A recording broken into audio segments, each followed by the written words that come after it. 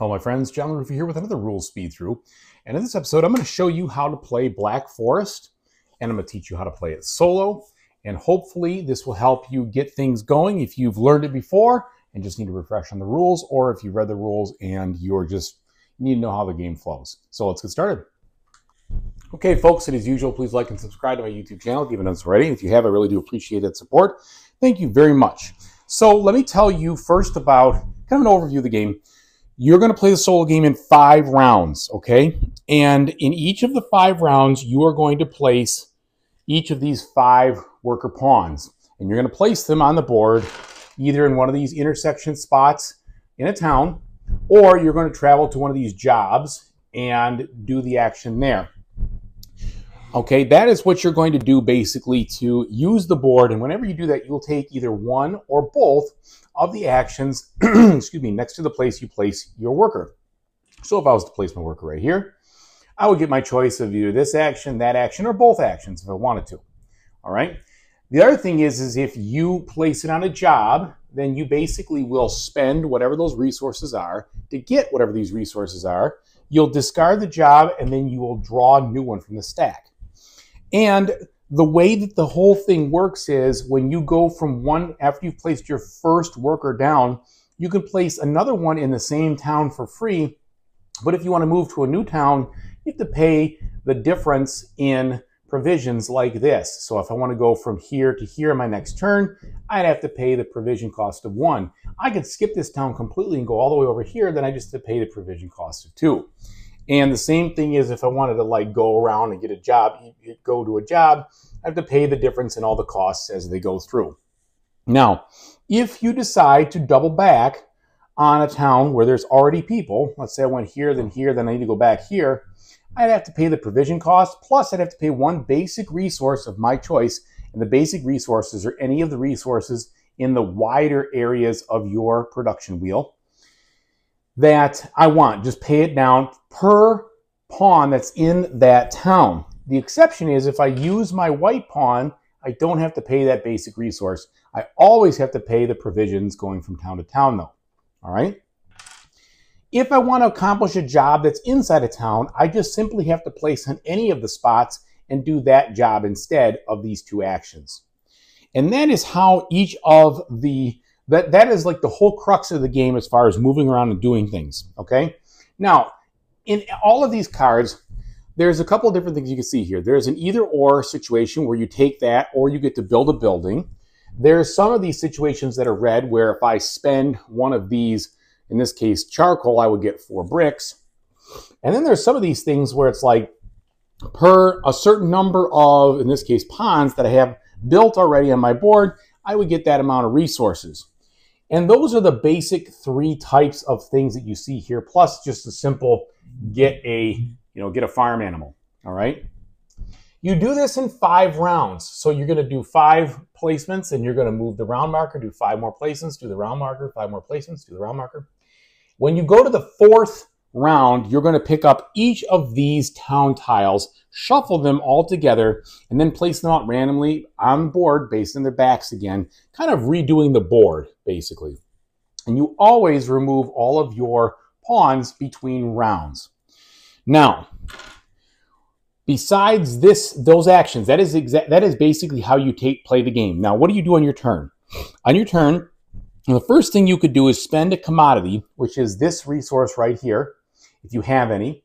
And when you spend anything in this game, you will slide it from the upper parts of your wheel down to where, you know, the lower number, okay? Each of these wheels has numbers on them as that you can see here.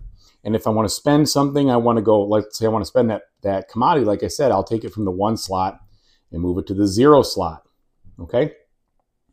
When I do that, that is something I do before I move my guy, and I am able to take this traveling merchant and swap it with any position on the board. It doesn't matter where my guys are. I don't have to use the things. It just means I get to swap. That's the first thing you do, and that's optional. Then, I, like I said, you do your movement. And then you do your action where you visit one or two adjacent tradespeople or you complete a job. Now, if you cannot afford to take a legal move or you don't want to and you want to go across, but you don't have any provisions left, you can, let's say I was here and I have no provisions like I do right now, zero. I can discard one of my pawns, set them aside, and gain one provision. All right, that's called begging, okay? And that's basically what you do if you don't have a way to get any of these and there's no other way to do it. Okay, so those are the three steps that you're going to take, and you're going to do that, you know, each time you take, um, you go through your turn. Now, how do you do other things in this game? Well, let's talk about the wheels. So the wheels work like this. If at any point in the game you have this spot clear where it says the zero, and this spot clear where it says the three, the two dark spots, the wheel will immediately turn and it will produce these better goods and consume one basic good each just by turning this wheel. So notice this, okay? Here I have 0, 0, and 1, and I have 1, 1, and 5. If I turn this, when I turn the wheel, because that those spots are empty, now I have 1, 1, and 2, 0, 0, and 4. So it consumes everything over here and adds to one everything over here. The exact same thing is true for this wheel over here. And that is the only way that you're going to be producing glass and provisions and commodities unless you do so in such a way with these buildings, which you can do. For instance, there are buildings like this one where I can spend a food and uh, or some meat and some porridge to make one glass. And when you do that, you simply reduce the amount of those on your wheel and you add to the amount of the other ones. All right. Now, the movement of this wheel is not optional. As soon as, no matter what, you have, let's say this situation, as soon as I move this up, it immediately consumes right away. Okay. Same thing with this. As soon as I move this up, it immediately consumes. The brick is not is the, an independent resource that does not have anything to do with the wheels. But you still max out. You can never have less than zero bricks and never more than seven. Okay. But the brick is independent. Now, when you build a building in this game, you must, and to build a building, you will take this action here, that action there, um, or that action there. You must pay the costs of the resources that are shown on the left and then you place the building in an open spot on your farm board. And the open spots are these spots right here. And once you place the building, you immediately have access to the benefits. There are four types of buildings in this game. There's the blue ones. In the blue ones, you will convert these to those anytime you want and as much as you want. There are the beige or brown ones where you once you place it, you immediately do what it says. So in this case, the feeding farm, as soon as I build it, for every one of these grain fields I have, I would get either a pig or a cattle.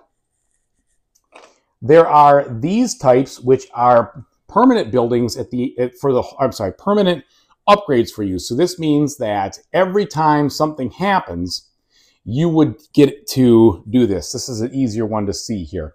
Whenever you visit the herbalist, I think is what that is, you always get a charcoal. And those just happen whenever that happens. And then finally, there's these um, yellow ones, which are endgame scoring, which will trigger at the end to give you some kind of points. The same goes for these large buildings, except the large buildings cost more and they take up two spaces. So as you can see here, I'd build it like that and it would take up two spaces. And that is how the buildings work in this game.